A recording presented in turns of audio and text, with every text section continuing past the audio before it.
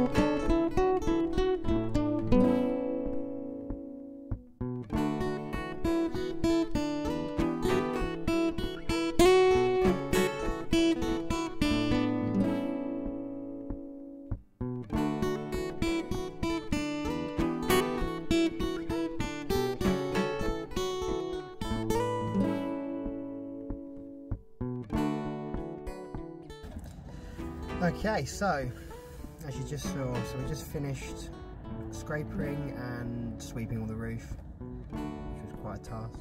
I'm quite tired now. I'm just on the way to B&Q to pick up a roller so that I can roll up the rubberised sealing on top of the flat roof.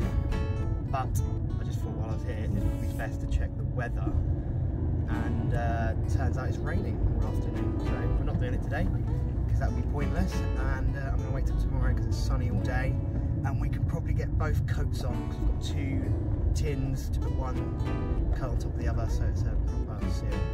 So we'll leave it till tomorrow. I'll go get my roller, and we'll get back to it. See you later. Hi, welcome back. So it's a new day today.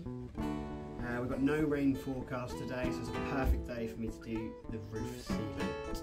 We had crazy, crazy wind last night, so earlier on I jumped up on top of the roof and I thought I'd give it all a sweep off, just in case anything kind of blew up there. And whilst I was doing so, I realised that I completely estimated how much roof sealant I'm actually going to need. Uh, I've got two tins, and each one covers five metres squared. so I've got 10 metres squared total, which seems like loads, but they tell you to do two coats. So, I measured the roof that I've got. Let me just quickly turn this down.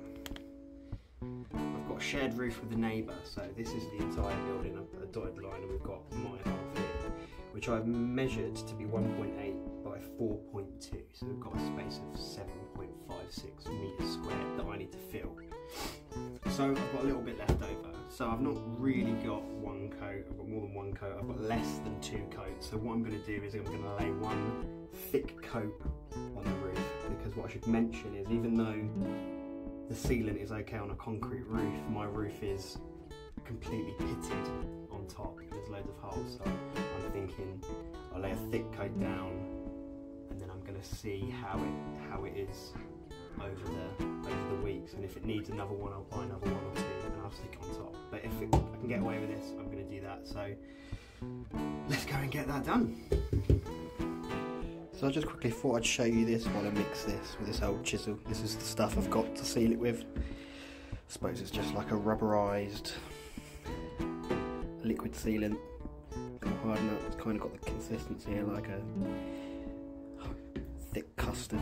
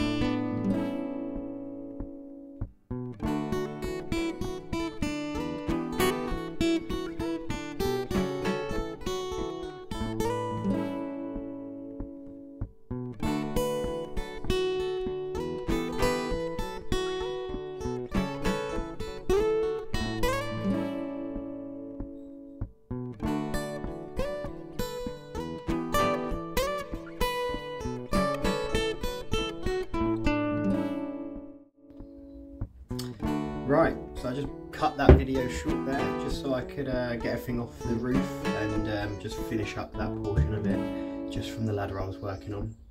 Um, I'll just run across the screen a quick before and after so you can see what's going on. And as you can see it's completely cleared up, way better. Um, bit of pooling water up there so it is holding the moisture up there. It's not getting through. I've checked inside. It's been a couple of days since and we have had a little bit of rain.